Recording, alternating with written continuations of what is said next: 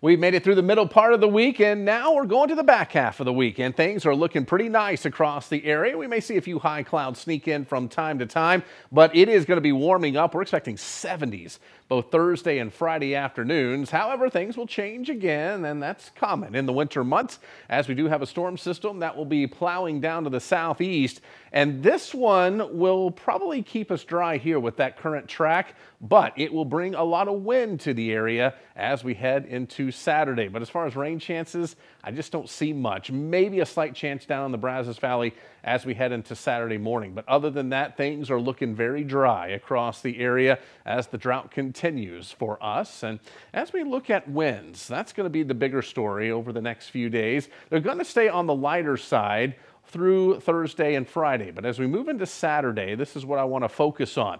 We will have a strong cold front making its way into the area during the morning hours. Winds are going to get up into the 20 to 30 mile per hour range.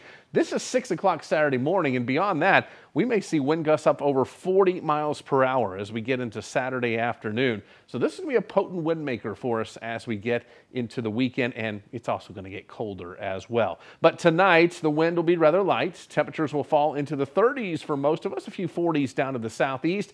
And then tomorrow, that's looking good. Highs in the 70s, warmest conditions west of I-35, 73 for Waco, 71 Mexia, and 75 Temple and Killeen. Enjoy the next couple of days with those 70s on the way Thursday and Friday. Then we get to Saturday. Go for a high of 55 degrees. That will likely be a morning high, falling temperatures thereafter and it will be probably falling into the 40s by the afternoon and with those gusty winds. It's going to be cold. 25 Sunday morning, 51 that afternoon, then 61 for MLK Day Monday, and then maybe our next front arriving by the middle part of next week.